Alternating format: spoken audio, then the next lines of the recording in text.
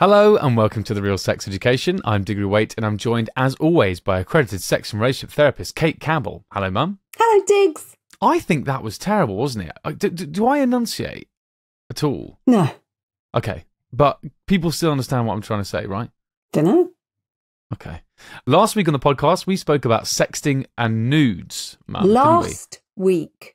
Last week. Yes, sorry, sorry. Um, okay, last week, Mother, we spoke about sexting and nudes on the podcast. Sexting? Well, You've developed the- lisp. I have, but it's the only way that I can enunciate. I sort of feel like this is the voice I must do to to enunciate. Is that not working for you? Wow. This is so. We received a text. Um, where I received a message today that said, Oh, um, go something. again. Well, no, something to the effect. Because I sent this to Mum. Someone sent me something saying, um, I'd pay uh, a, a level up in subscription for my Patreon if I could get the same podcast but with one of the hosts edited out. And they said they just want the podcast but with me edited out, so it's just you, Mel. And I feel maybe this is why this sort of thing. They just want me gone. Okay. They wouldn't be And- the same then, would it? It wouldn't be. No, it wouldn't it would be, be at all better. the same. It would be. no, it would be better. but it wouldn't, would it? It would be awful. Well, uh, do you know what would, it would be awful because of your bloody banging of that microphone. I can hear it moving. Are you moving it as we speak? yeah, I can, what? Don't play with that. Don't play with it. It it's, makes. Oh God. Especially with these bad boys in these cans. Right? Are you are you behaving now? Should we start? because last week on last week on the podcast, Last um, week. we I tried to talk to you and, and give you some reasons as to why one should sext and send nudes, right? And you weren't having it, and you kept talking about cheating and infidelity. So I thought, right, let's just. I- would just stop you and remind you what happened to Otis well, I don't know, uh, on but but Sex Education, the the television program, yeah, yeah, yeah. Talk to me. What what happened? Well, he, Is this a spoiler? We should we say yeah, spoiler we, alert? bet, we better not. But if you want to see Otis's Willie on Sex Education, tune in now. That was We- a public service broadcast. Yeah, that was brilliant. That sounded like that sounded like when you ring up that, that number to tell you what ti the time is, and they're Mm. like, "It is eight forty one now on the third beat or whatever," you know. Um, yeah, and you're like, "If you'd like to see Otis Milburn's Willie, tune in now." Mm. God, we're, we're both enunciating really well. So he he accidentally shared it with many people. Oh dear. And Oh this dear, is oh what dear. happens when you take dick pics, dear listener. Exactly, exactly. Your uh, your aubergine gets all over the shop.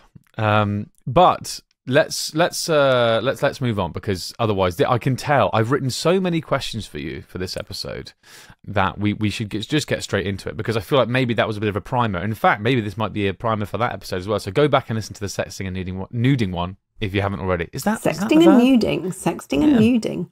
Yeah, I like that. Okay, so so let's just get straight into it. Mum, what's the definition of cheating? I sometimes feel like it's good to start with this sort of question. Oh, I would love to know. Interesting. Because I think mean it by that? varies from person to person, doesn't it? Depends what your rules are. Mm, okay, this is very interesting already. So Mm. most people would think, oh, cheating is when, let's say, you're going out with someone or you're married to someone and they shag someone else, right? Or something to that effect. They kiss someone else, you've cheated on them. Well, not anymore. Not anymore, and why not? No, because now we have other things that you can do which are considered cheating, like sexting. It, maybe some people think isn't as bad as having full on sex with someone, but maybe maybe it is if it's been going on long enough, that sort of thing. I mean, there's such a thing as micro cheating and emotional cheating. Would you put sexting under micro cheating or or or Again, talk it about what depends on what you find really objectionable, doesn't it, in your own relationship? Mm, Lots of people nowadays find emotional relationships much worse than sexual ones. Mm. From their point of view, they would rather you just went off for a shag than you, you went off and and fell in love or shared intimate details. Yeah, exactly. I mean, it's it's interesting. So so we're talking about some of the the, the micro cheating is like things that so it's not full on like getting with other people, but you know, people say that Um, maybe if you flirt too much with people, that could be it. Um, you know, liking an attractive person's social media profile or constantly looking up, that sort of thing. But the emotional cheating side is very interesting. That's like you say, creating that emotional bond with someone else that isn't your partner. I know um, someone, um, and him and his partner, they are in a sort of open relationship, but it's like a don't ask, don't tell policy, right? It's like go away and do what you want to do, and I don't mind. But like you say, it's purely sexual. They're like, if if if I come home and I find you watching our favorite TV show with someone sat on the sofa, I will scream, and that is cheating. Oh, That's proper Whereas, cheating. whereas if you are just like, oh, I'm going to be out on Thursday night and I'm not coming home until the next day, I know what's going on, but as long as you're not doing the like cooking dinner together and all that sort of stuff, then then that's fine. This is what sort of what I think you're talking about, right? Mm. Yeah, people not minding that stuff as much. Well, some do and some don't, don't they? And Yeah. it's it's really it's really fascinating what people arrange between themselves. But more to the point, most people don't have any conversations about this, and so something happens, and then they're shocked and horrified, and you and you're thinking, well, wh- why didn't you have that discussion at some point? Why? How did how did your partner know? Because things like flirting have traditionally always been a sign of a stable relationship. So if you can say go to a party and you both have a bit of a little flirt, but you go home together, that's that's nice. It just it just demonstrates your commitment to one another and your ability to flirt safely. Yeah, absolutely. I mean, Hmm. again, uh, a friend of mine, she told me that she was at a party and her boyfriend was there and they were both chatting to people and I think maybe this someone else was flirting with her boyfriend a bit or maybe he was chatting to them a bit in that evening. Anyway, my friend and her boyfriend go home together. They're lying in bed and she was like, "Oh, by the way, you know, when I saw you with that girl tonight, it made me really jealous." And he was like, "Oh my god, I'm really really sorry. I'm so sorry. Like I didn't mean to make you jealous." And she was like, "No, no, no. I don't mean. I don't. I'm not angry at you. I'm, I'm trying to have, have sex with you. It's hot. I, I, I, you know, I liked it. So that for her, that like maybe it was like a level of micro cheating or whatever you want to call it. Um, but actually, it was like you know that was a it was a good thing. She that was something she would absolutely tolerate, and if anything, you know that might be even seen as a positive thing. So it, it is true. So so this is really interesting. So you think that that couples should talk about these sorts of things that might happen before they do, ha- and and and basically say what's on and what isn't. So so what how, what does that conversation look like? Well, sometimes people actually come to therapy saying we've decided we want to make we want to make this relationship work. So what do we need to do? And then they have those conversations in therapy, which is which is great. But there are loads and loads of articles and things and posts around how you discuss the, the important rules of the relationship. So I don't think anyone's got any excuse these days for not having those conversations really. But except that they don't. Yeah, exactly, exactly. So, I mean, it might seem silly and mad, but I because I think a lot of people will go, well, obviously that's cheating, and obviously that isn't. But like I just gave that example, some things some people would find inexcusable, and other things they wouldn't. What I would recommend is there's a book here called um, "Sex and Intimacy" uh, by Cate Campbell. Um, wonderful, wonderful writer. In there, there is a whole. There's many pages on infidelity, otherwise known as cheating, um, and in, in fact, there is some questions that you can ask your partner um, some certain scenarios. So, um, and examples of what could be seen as cheating. Um, so you could get that book and take a look in there. I mean, let's give let's give an example of, of, of some of them that are in the book. Um, having a friend of the gender and sexuality that interests you, even if you don't have sex with them, is watching porn cheating. Is having cyber sex with a stranger cheating? Is subscribing to an OnlyFans model cheating? Starting a relationship with an avatar in a video game? I know that's going to be a problem for a lot of people currently playing a game called Baldur's Gate 3. Everyone's talking about um, shagging all the characters in that. Oh, your face Um, lit up then. Yes, it did. I can't wait to get it. I'm going to ask for it for Christmas, so prep yourself for that. Baldur's Gate 3. Oh, um, Santa. Well, you know what? Actually, again, I, I know I keep talking about um about anecdotes. S- What do you think of this? Do you think this is cheating? Um, there was a post that was going around online. This is probably a year ago now, where someone had discovered their their girlfriend loved playing The Sims, right? You know, where you create little um characters, Sims who go around and they have a house and stuff. You She know what I used to do? I I always used to have fill up the swimming pool to the brim and take all the all the all, stairs out. all the ladders away. Yeah, so they drown and then there'd be ghosts floating over the swimming pool. That's true. I, Everyone I did mean, that, didn't they? They did. They did. Yeah. That is a classic. I mean, you are insane, but it is a classic, and I, you wonder where I get it from. And do you remember Theme Hospital taking out all the loos? I, So all the patients had to, I did. So patients had to wee on the floor. Oh God! People who know that. Theme Hospital will think that will love that. Yes, and they yeah, what a crazy game as well, where people would like heads would expand. Oh, we get bloaty heads. head. Yeah, yeah, yeah, Yeah. I can't believe that you used to play video games. With you? I don't actually remember us sitting down and playing these games together. No, we didn't. I just used to do the bloaty head and Yeah, yeah, yeah, make them exactly. wee on the floor and things. Yeah. Oh, for God's sake! And it was yeah, it was on your computer that we played them all. Um. Anyway, just basically, this girl had created was played The Sims all the time, and her boyfriend discovered that she had a house in the game and an avatar that looked like her, and an avatar that looked like her ex boyfriend. yeah, and they were living in a house together and they had kids. Was this And his that- imagination? Or had she put the avatar in before in the past? Well, that's it. And then what you because a lot of people were saying this, and they were thinking, no, but it looked like she had definitely been playing this. According to the story, she it was like that save had been that auto save or whatever had been going on. It was quite quite recent. But the thing is, let's say she'd made that save that she really liked when her and her ex partner were together. Hmm. You'd want to keep that story. You wouldn't want to just delete all that. No. Maybe you would, but you'd be like, "Oh, I've made so much progress." But it might be a bit weird. I mean, yeah. Hmm. It, Could okay. you change the appearance of the avatar? I don't think you can that that easily on The Sims. Yeah, but um, but it's interesting, though, isn't it? Very, very interesting. I don't know if whether you think that is cheating or not. Maybe that's this is now the time to ask in the comments below. So if you're on Spotify, we'll do a poll on Instagram. We'll do a poll, all that sort of stuff on on the YouTube. Please get in contact. Let us know: is that Sims story cheating or not? Because that is, I think that's Do we ever crazy. get the results of these polls you do all the time? um, I'll tell you what. The one for the the um, Coronation Street one, you know, the, there's someone on Oh, Coronation Street yeah. Who's putting stuff on a website like OnlyFans, and it's, is it empowering or not? That is currently the last time I checked, sat at 100 percent for yes, it is empowering. OnlyFans can be empowering. oh. Yeah. Well, so should we tell should we tell the script writers just in case they go off in the wrong Yeah. direction? Yeah, we probably should, and say Yeah. uh, that we've done a very, very big poll of which up to two people have responded to, and they they think that it's empowering. So make sure you don't mess this one up. Yeah. Um, we absolutely should do is that. is those two right. us? Listen, Mum, I don't. I don't think we should talk about the ins and outs of the podcast. Um, you know, just we, do- we don't want to let people too too far behind the curtain. Okay. Um, why do people cheat in relationships? Oh, was that a question to me? What? Who the fuck else am I talking to?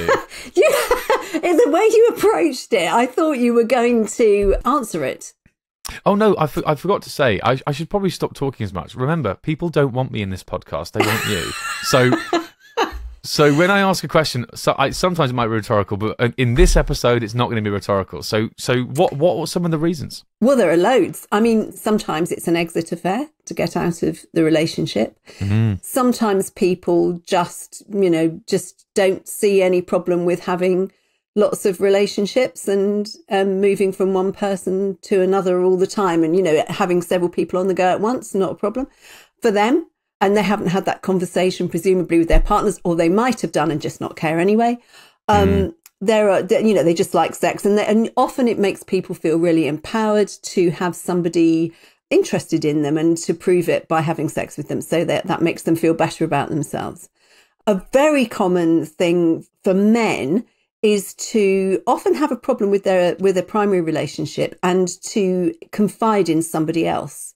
Some often someone at work, and then the person they confide in kind of pushes the relationship a bit further um, so Mm. that and then they feel kind of obligated to take it further because this person's sort of saying well you've confided in me now and i know all this stuff and you know you're not going to dump me now and then they feel oh i've used this person this will be bad so they end up in an affair which they didn't really mean to have and then Oh wow! yeah and that is really really common incredibly Wow. common I can't Yeah. be. I, I just can't believe that. That's that sounds quite specific, but it's so common. That's crazy. It is very common. And the thing is that people who do it, they're finding themselves in this situation where they whether they've upset everybody. So they're hmm. typically people who fi- who are scared of talking to their partner about stuff and particularly about problems in the relationship. So they go outside the relationship to talk about it and then they end up in a worse situation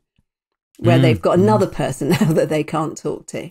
And you can't really go back to your wife and go, "Oh, and by the way, I'm having this affair and I just don't know how to handle this woman. So that's oh, difficult. God. but but generally speaking, there could be as many reasons. I mean, just for some people, just opportunity. It's just flattering and they Yeah. can, so they so they do.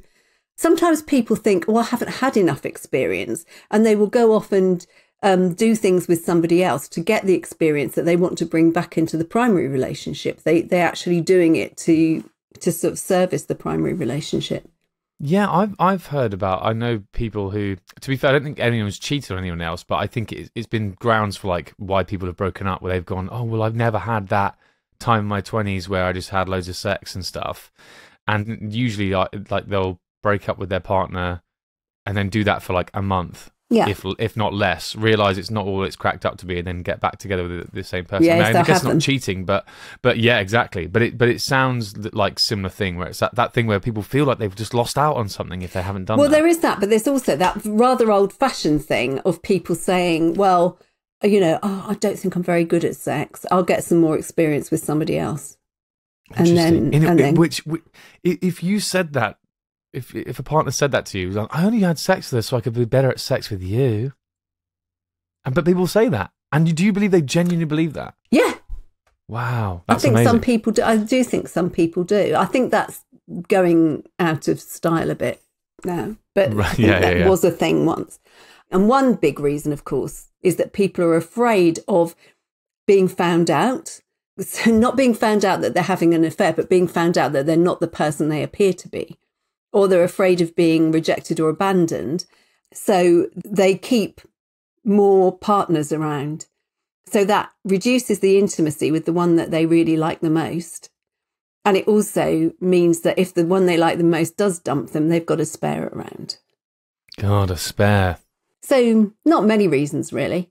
With that in mind, I rewatched Esther Perel's um, incredible TED talk where she talks about infidelity. Mm. Um, she's a bit what I mean, what do we call her? A big therapist, big counselor, big yeah, you she's know, a big, she's big, a- big therapist. big She's a therapist. Very petite woman. yeah, but but uh, you know, sorry, I'm talking figuratively big. You know, yeah. um, yeah, she is. she has yeah, a she's huge a big. following.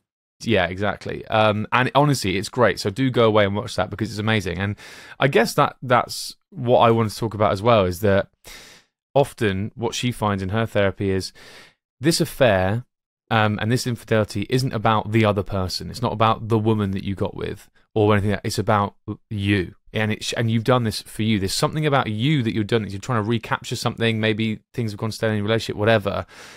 This isn't about oh, just someone else was better than your current partner. It's because something in you you and so that's what we're talking about. And she says, you know, the things that you should do is is not ask those questions. You know, um, how many times did you have sex? Where did you do it? Mm. What did you do? The question you should be asking is, what was she replacing? What does she represent? Why did you, you know, those sorts of things.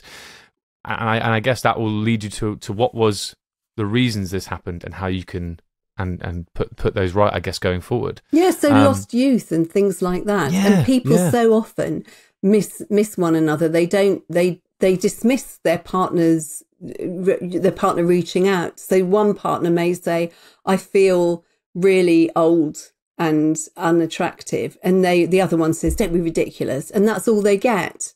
So they've Hmm. completely dropped the ball there because this, you know, some someone's complaining about something very, very serious and intimate, and they and they they just say, "Don't be silly," and then wonder why they're talking to someone else about that or doing something else, which which replaces, you know, makes makes them feel young and attractive again, and and mm. wanted and worthwhile. Yeah, and, and properly engaging what your partner has to say. I mean, what was what was that thing? You you might be able to tell me this, but there's that thing going around on the internet at the moment as well. It's sort of getting popularized again, but it was that some relationship analyst or something basically identified, you know, the reason why 95% of couples break up, and it was because he analysed all these couples at some B and B or something, and said that the one Is this thing John they all, Gottman? I think this is this is the Gottmeister, and is this where? And he said basically, At some B and B. I, I don't. Well, listen, we might have to talk. What are you pissed off? What is, what was it No, then? it's just so funny because he he had these flats with cameras in that he where Oh, right. the, the, they'd install the couple in the flat, and then they, apartments because it was American. Right, no, no, no, I- Apartments, yeah, yeah, this. B and B, and they'd um, and then they watched them and they watched their behaviour and then they extrapolated from their behaviour what he called the four horsemen of the apocalypse. That's it. Yes, it is. This is the same thing. And so one of those horsemen, or basically, he was like this. This thing is when when the couple goes, when one of them goes, oh look at look out, and, and you, this will trigger you. Look out there. There's a bird in the garden, and the other one goes, mm, and doesn't look up Yeah, and doesn't engage. yeah. It's like um, that is when that is when the relationship is going to start to fall down. Whereas uh, th- Yeah. what they're doing there, your partner going, look out there, a bird in the garden. They are reaching their hand out and they are saying, here is an olive branch.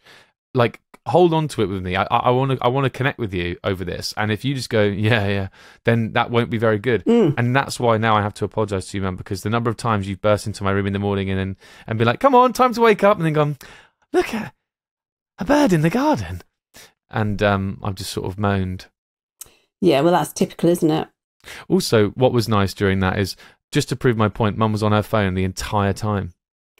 Yep. right, I'm going to tell you what the four horsemen are. oh, okay. We looked it up. Yeah. Oh, that's what this was. Here we go. Also, I was quite enjoying ignoring you, but for effect, for comic effect. Yeah. All right, okay. Now he's ignoring me. Stonewalling Yeah. Is that what this one is? of them. um, criticism, contempt, and defensiveness. I mean, I mean it, to, to to avoid an affair, I guess you do want to you do want to not engage with the the four horsemen and to think about. I mean, just think about in general how much attention you're paying to your partner and their behaviour, and whether they're constantly making bids for attention that you're rejecting, because then you Mm. can't really complain if if they sort of find other interests, and whether that turns out to be golf or Yeah. you know or uh, you know they get a dog or something or whether they you know they become married to their work or they have a little affair Yeah, you can't really complain. You can't really well you complain. could really but, no, no, know. no. You heard it here first. You Oh, can't dear, oh, complain. well, you know, you, you should. You know, No, it would no, help I'm if being- you paid a bit more attention to the relationship.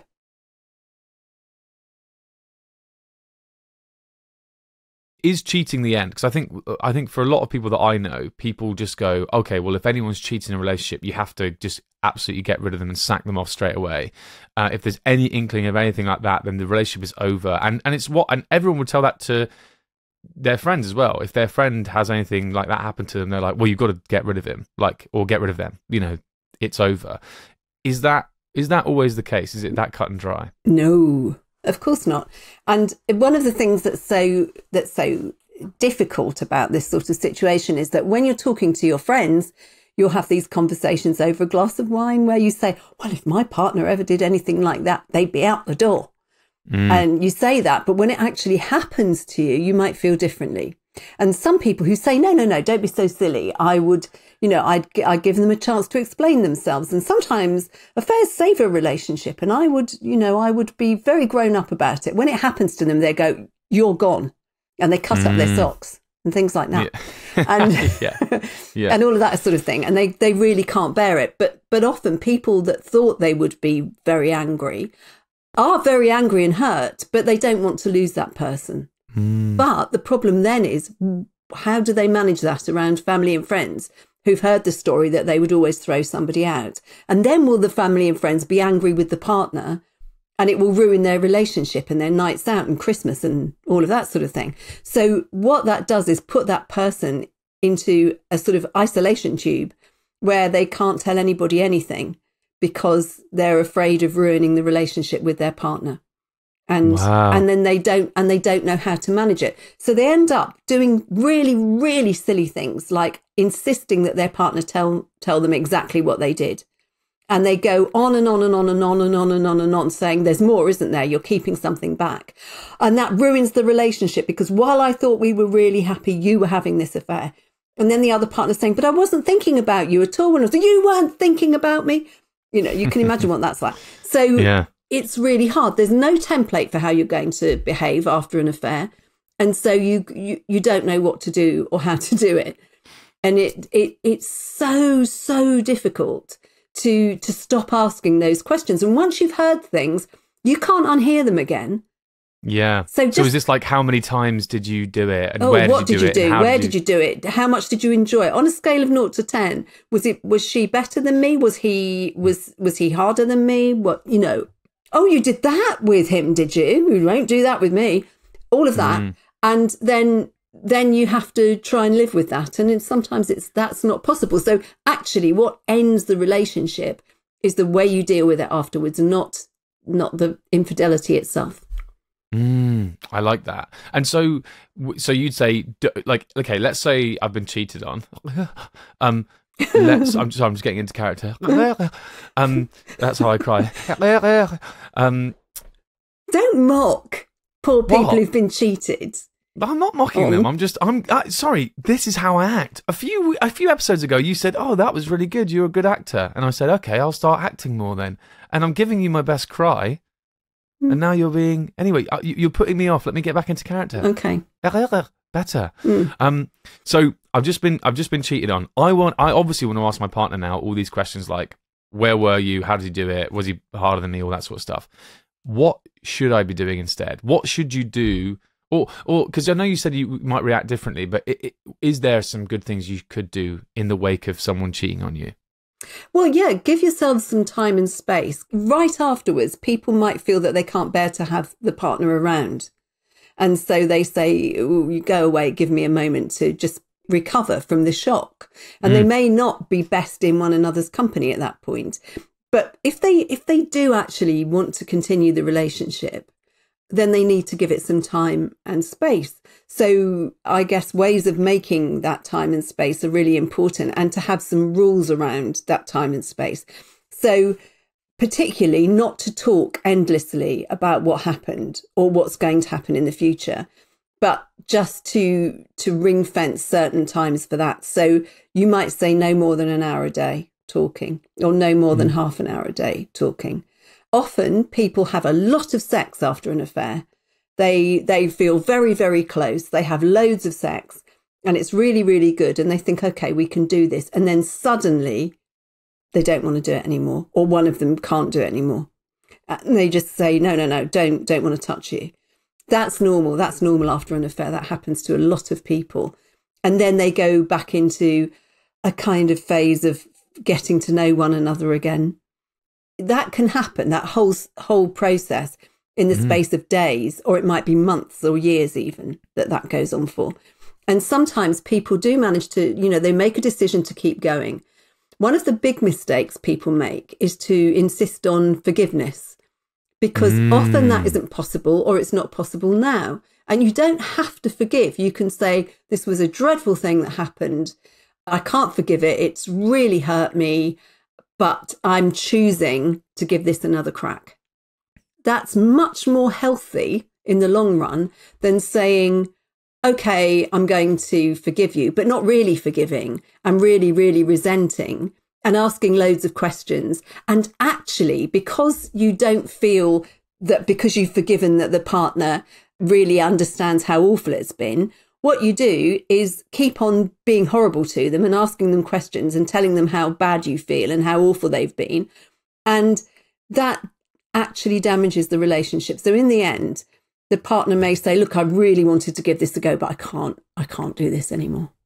So so then if if you do want to stay in that scenario you've given, how how do you rebuild? What what do you do next? Well, so so don't talk about it all the time. One of the things that a lot of therapists recommend, and it's in a lot of sort of textbooks and things, is hmm. to behave as though, if you can, behave as though you you it's all fine.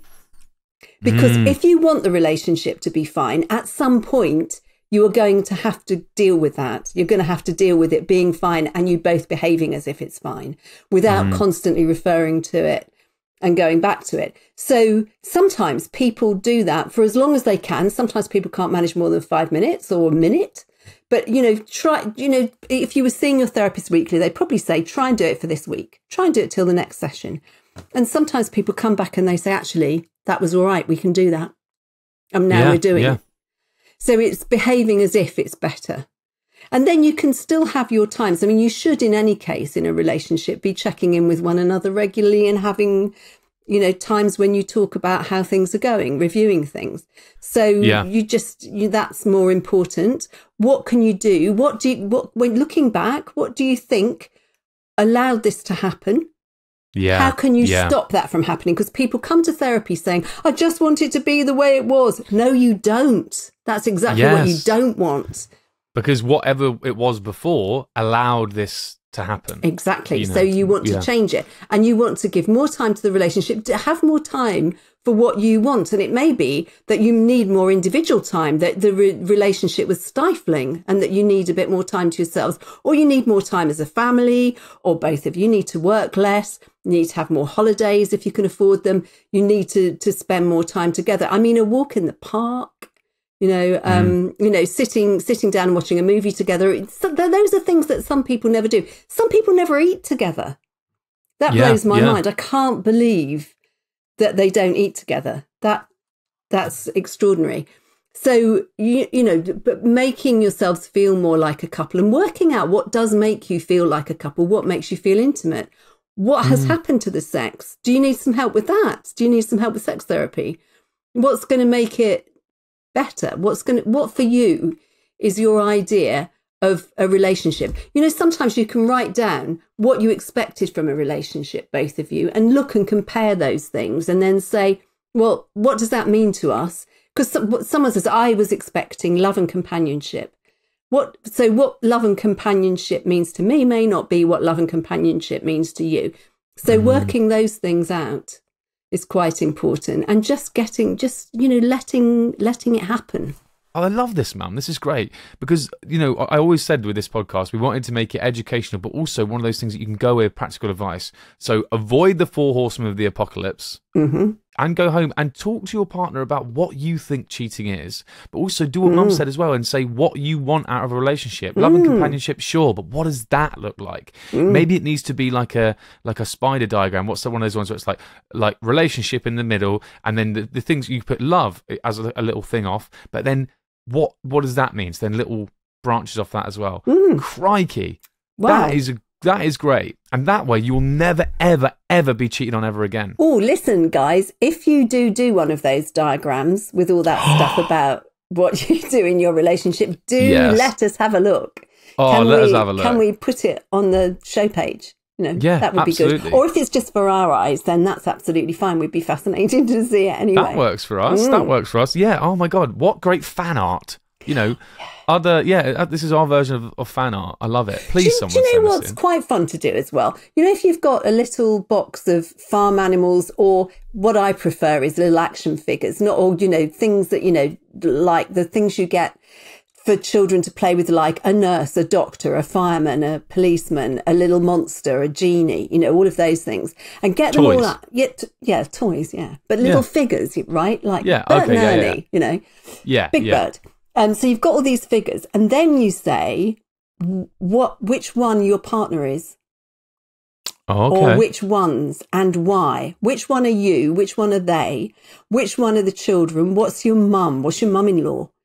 and you just talk and it, it's a really fun way of talking about what works and doesn't work between you and noticing people's behavior and their funny little ways and their needs particularly mm-hmm. and sometimes people can make one person consist of several different toys and that that is a really cracking game i think because so just to say in mum's study where clients would come there's a big box of toys in there. Big and not the ones you think, the no. ones we've just been talking about. And yeah, like you say, filled with Bert and Ernie and all that sort of stuff. All my toys were going missing when I was a kid, and that's where they ended up. They were my toys. You stole them. In, they was Santa gave them You to me. my gorilla. Excuse me, you used to go off with my King Kong. Yeah, what the one with the red button in the middle that you press it, it went. Again, its eyes went red. Is that yours? Yes. I was a child. I had to play with toys, not have them all used by your stinky clients. Being like, "Oh, my husband My reminds me of King clients Kong. are He's a not big stinky. bastard." My Sorry. clients. Are, I'm apologies to my clients, all of you, everywhere, wherever you are. My poor I apologise clients. to your- I Sorry, apologise to your guys. clients. Sorry, guys. Thank you so much for listening, everyone. Do let us know what you think. Um, can cheating be forgiven? Or what was the other thing? Oh yeah, no. We're gonna we're gonna say. Can, let us know if you think cheating can be forgiven, but also let us know. Would you forgive your partner if they had a, a house in The Sims with an ex-partner of theirs and children that they've been playing for years? Let us know. Uh, as I say, the poll will be on our Instagram and the actual episode on Spotify has the ability to do like a poll thing. So so do do check that out. Obviously on Instagram and TikTok and Twitter, we are at the RSE Pod. Twitter? and on sorry X, formerly known as Twitter. You love Elon Musk, don't you? I bet you love him. I've, I've seen some of his some of his um, big space rockets in the flesh. Excuse me. I have. Have you actually? Yeah, Hmm, we'll talk about that off air. yeah. I went to NASA, didn't I? Yeah. Oh, that kind of space rocket. Okay. Hmm. And on Monday, we'll have uh, we'll answer some of the questions you sent into us on our Google form, which, as I say, can be found on the social media channels. We just mentioned all them. We're at the RSE Pod, and by the way, you can also uh, email us as well. We are podcasts at hattrick.com. Subscribe to us wherever you listen to this now, and we'll see you next time for some more real sex education. Bye. Bye.